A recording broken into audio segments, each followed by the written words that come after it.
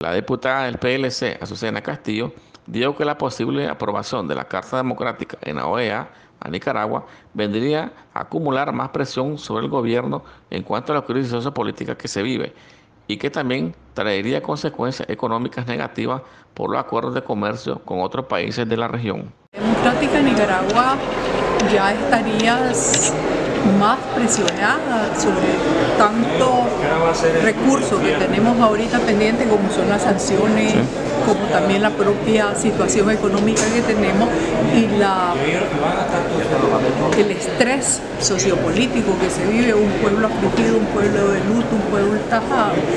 y venir todavía con una carta democrática es lo que debemos de y creo que el gobierno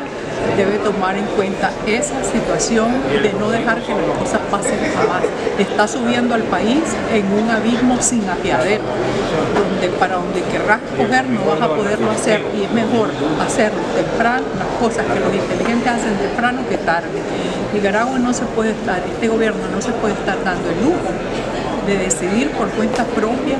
distinto a lo que pueblo le está pidiendo. Ya la situación es ingobernable y un gobierno que tiene, que no puede gobernar,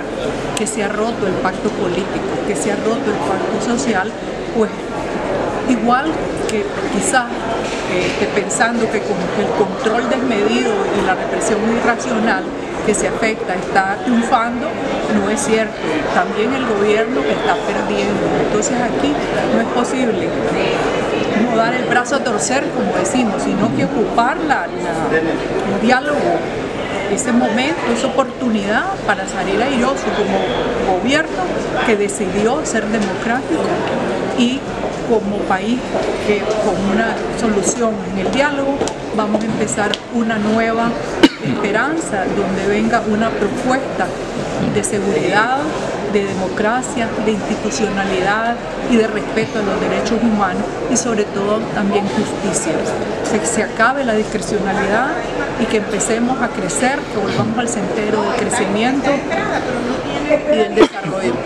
¿Estaría en riesgo algunos acuerdos comerciales que Nicaragua tiene con países de la región con esto? Por supuesto que estarían en riesgo y yo he hablado con personeros de embajadas muy importantes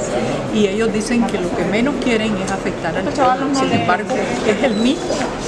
gobierno que, que, ejerce esa presión para llegar a esos extremos. Yo creo que no es ni para el mismo gobierno ni para nosotros mismos.